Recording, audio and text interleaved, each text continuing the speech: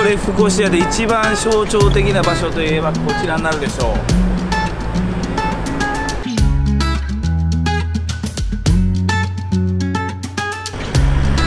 キプロスが独立した時に作られたということなんですけれどもでもキプロスの旗とギリシャの旗がある。このキプロスとギリシャはすごく密につながっているというのを象徴してますね。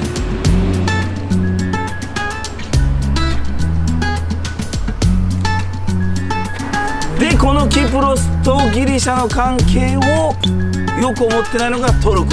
それがこのキプロスの紛争問題ですよ。ギリシャ軍対トルコ軍。うん。いきますか。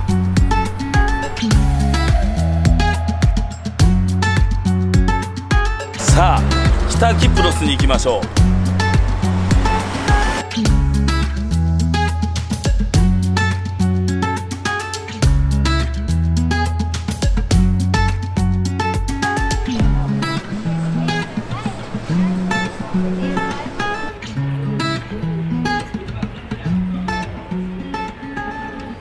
が新市街やろな。も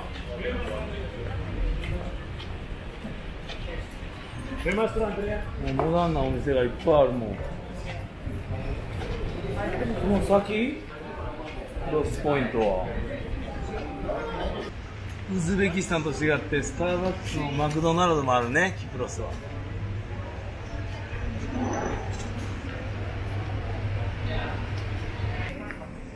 この通りは買い物もしやすいね。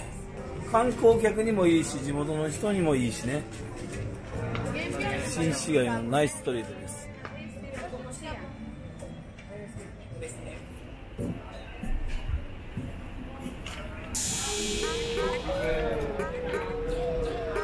さあここちょっと向こう側行ったら見えるかな。トルコの旗が見えると思うんですけれどもこっちには EU の旗。ここから先はですね1974年にトルコ軍とギリシャ軍で紛争があってここから北はトルコだけが認めた北キプロス共和国やと言われております。なのでここを越えるときにはパスポートが必要と。いうことになっております一つの国が今分断されているという国ちょっと北キプロス共和国。世界的に承認しているのはトルコだけなんですけれども行ってみたいと思います。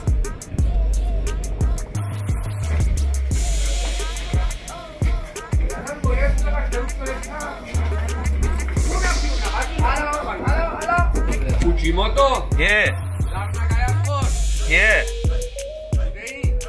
today.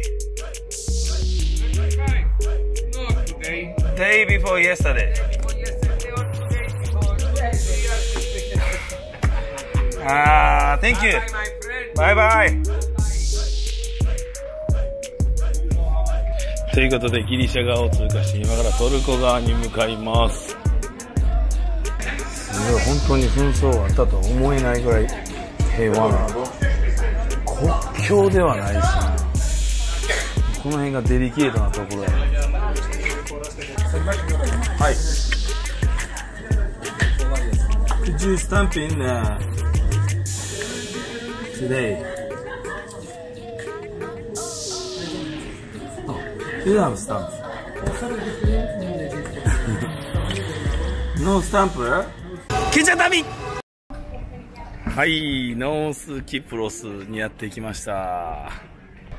ちょっと北キプロス。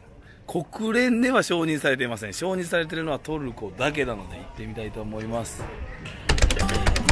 北キプロスって言っても何も変わりはないですねもう通貨もユーロのまんまやし観光客の人がいろんなものを買いに来てるぐらいで観光の施策やったりしてこの半分に分けて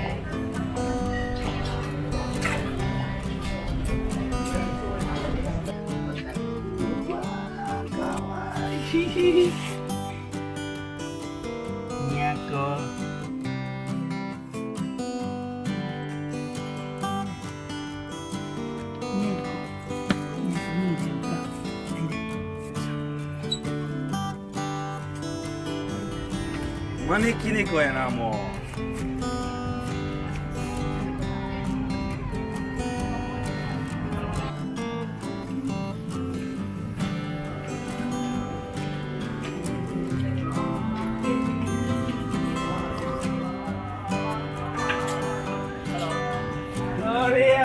が見たかった。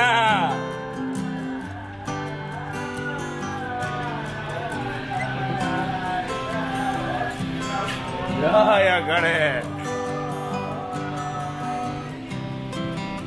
シンプルイズベストの装飾よな。